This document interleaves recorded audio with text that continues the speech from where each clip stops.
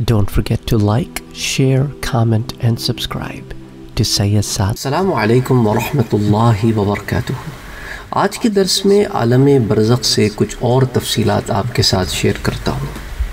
ان میں سے کچھ تفصیلات اس سے متعلق ہیں۔ جیسا میں نے آپ کو پہلے بھی کل بھی بتایا کہ جب کوئی شخص قبرستان جاتا ہے تو اس کے عزیز و اقارب اسے دیکھتے بھی ہیں۔ اور اس کے کلام سے متعلق بھی ہے کہ عالم برزخ سے اس دنیا میں لوگ دیکھتے ہیں اور اس کے متعلق جو کچھ حالات و واقعات بتائے گئے ہیں۔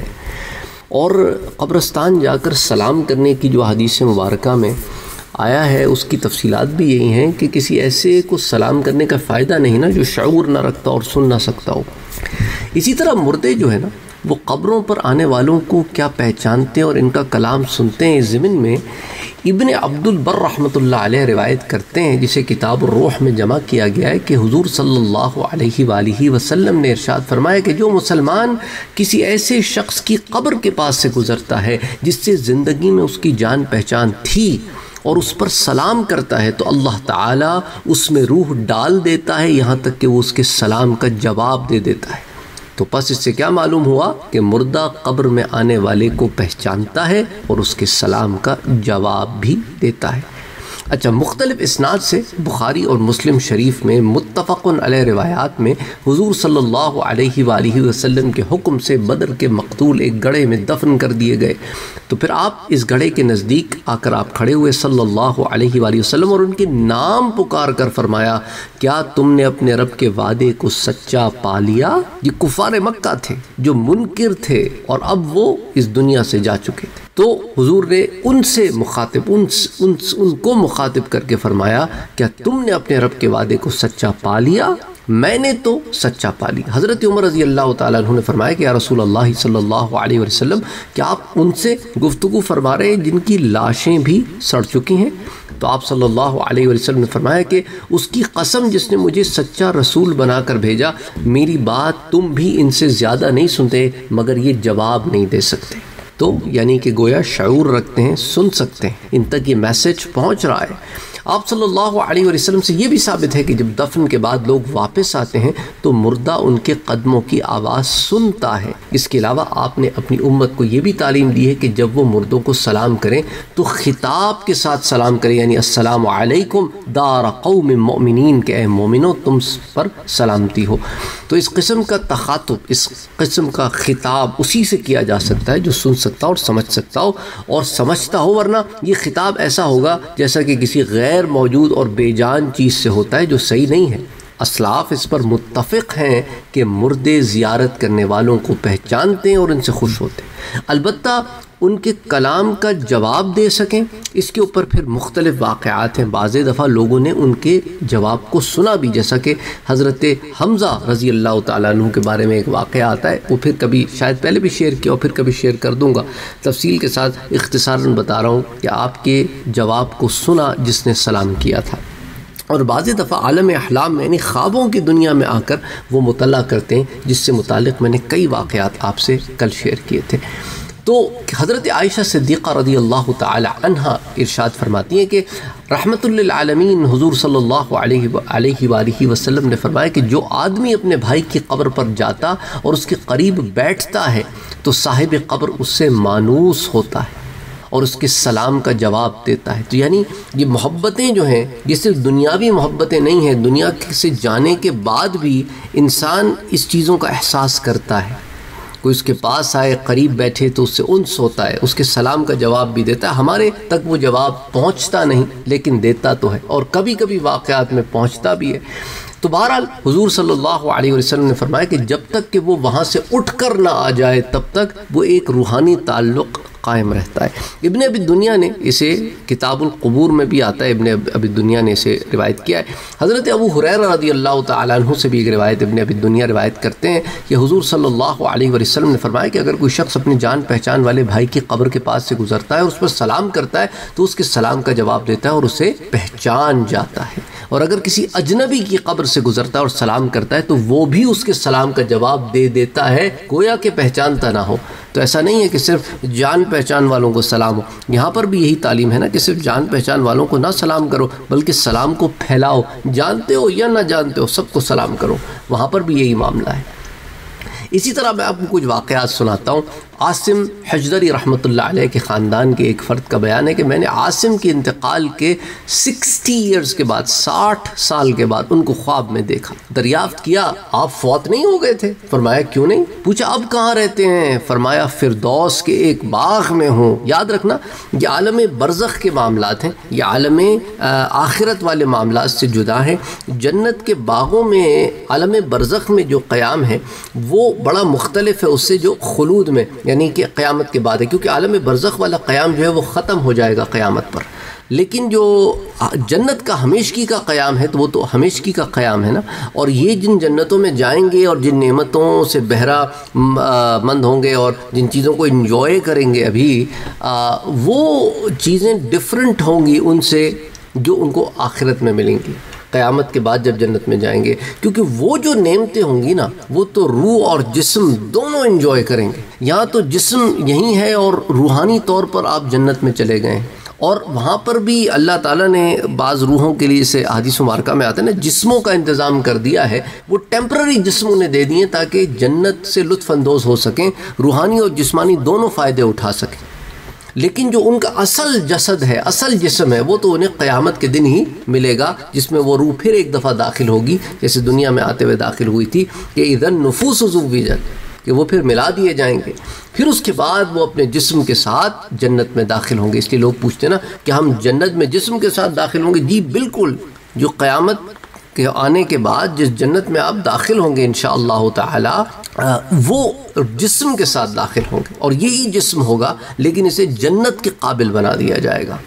اچھا اب بیان کرتا ہوں اس خواب کو کہ وہ فرمایا کہ میں فردوس کے ایک باغ میں ہوں۔ میں اور میرے کچھ ساتھی جمعے کی رات کو اور جمعے کی صبح کو بکر بن عبداللہ مزنی رحمت اللہ علیہ کے پاس اکٹھے ہوتے ہیں اور تمہارے سب احوال معلوم کرتے ہیں۔ تو کیا معلوم ہوا اس سے؟ اس سے معلوم ہوا کہ عالم برزخ میں بھی محفلیں ہوتی ہیں، جیسے دنیا میں محفلیں ہوتی ہیں۔ لوگ ملتے ہیں نا، جمعے کی رات کے مراد کیا جمعے اور جمعے رات کے درمیان کی شب اور جمعے کی صبح۔ یعنی تمہارے جو جمعے ہوتے ہیں نا، ان کو ہم وہاں پہ بھی ملاقات کرتے ہیں اور مجالس ہوتی ہیں اور ہم بیٹھتے ہیں۔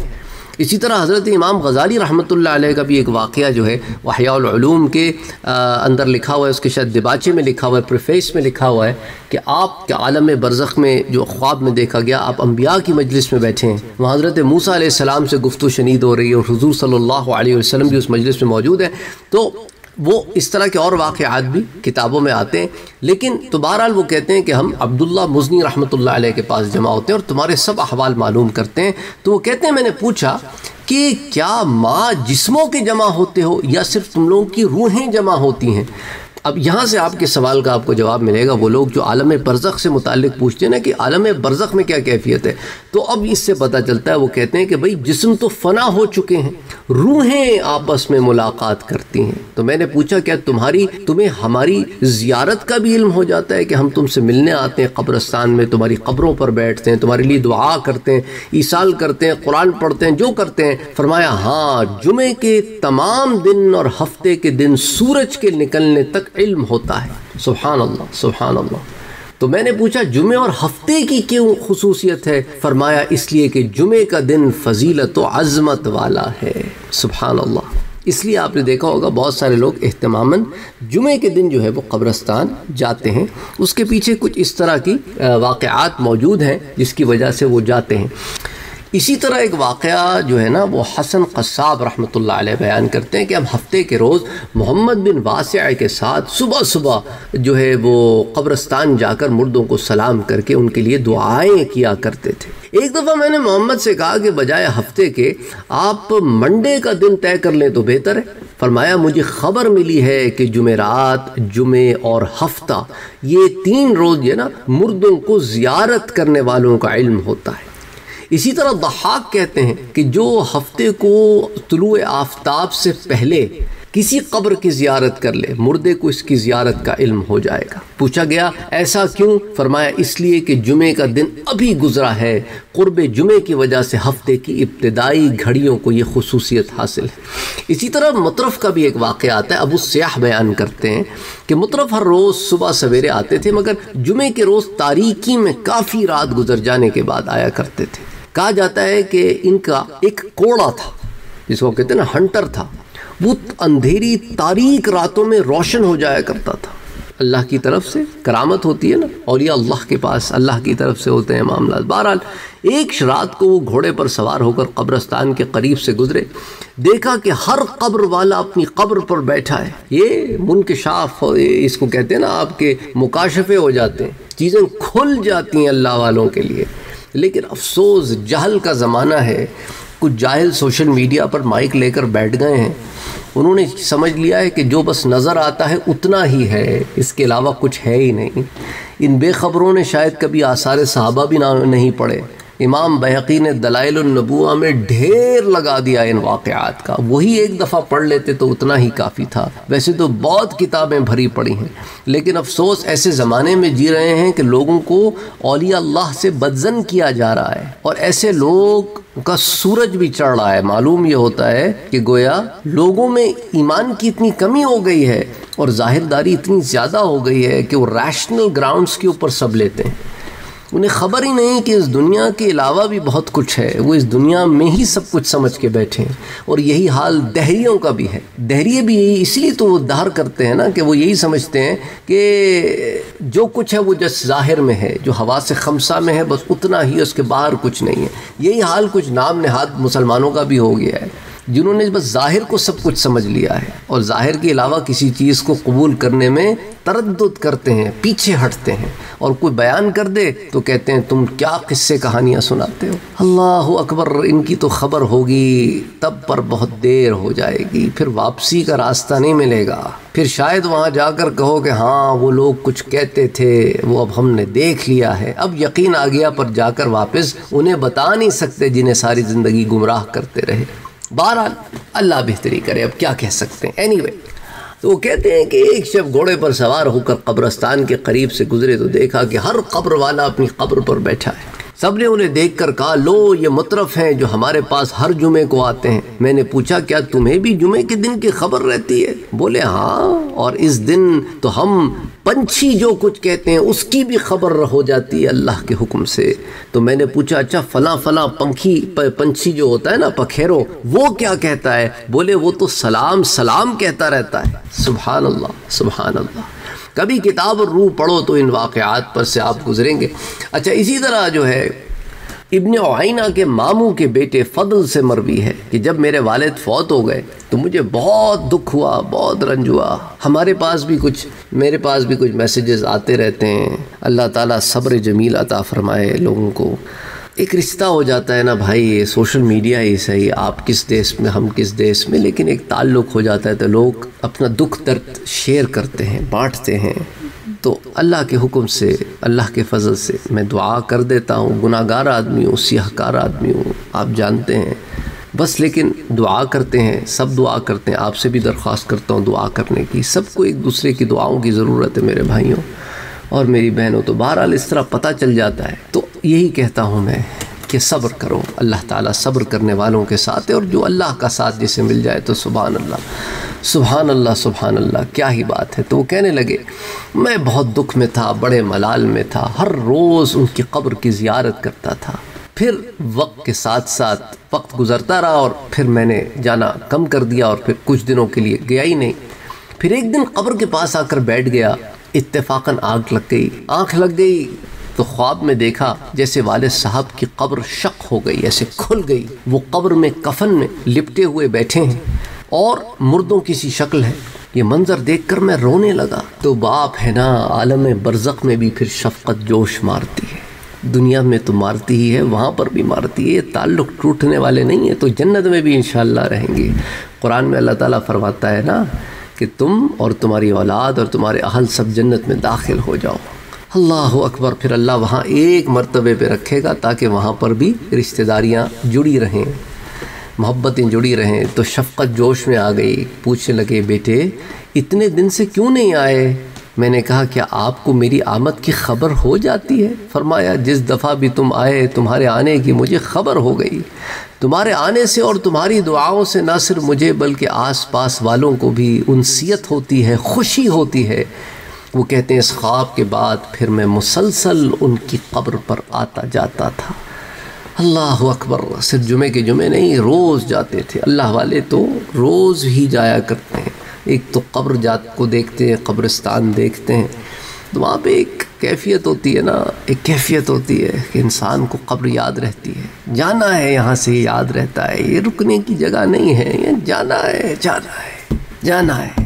یہ احساس رہتا ہے۔ اور پھر جب وہاں جا کر دعا کرتا ہے تو سبحان وہ ایک تعلق ہوتا ہے، وہ تعلق جڑا رہتا ہے۔ جاہل ہیں وہ لوگ جو کہتے ہیں کہ کیوں جاتے ہو یہاں تو سب سوئے پڑے ہیں۔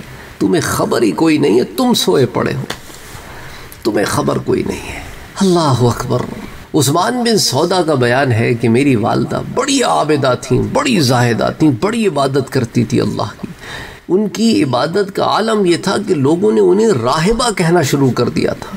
جب آخری وقت آیا، نزا کے وقت انہوں نے آسمان کی جانب سر اٹھا کے فرمایا کہ اے میرے ذخیرے اور اے وہ جس پر زندگی بھر مجھے اعتماد رہا اور موت کے بعد بھی ہے، موت کے وقت مجھے رسوا نہ کرنا۔ اللہ اکبر، کیا خوبصورت دعا ہے نا۔ اور قبر کی وحشت سے بچانا۔ اپنے رب سے بات کر رہی بندی اپنے رب سے بات کر رہی کہ تجھ پر ساری زندگی اعتماد رہا۔ آج بھی ہے، موت کے بعد بھی ہے۔ اب مجھے رسوا نہ کرنا، قبر کی وحشت سے بچانا۔ پھر ان کی روح پرواز کر گئی، فوت ہو گئیں۔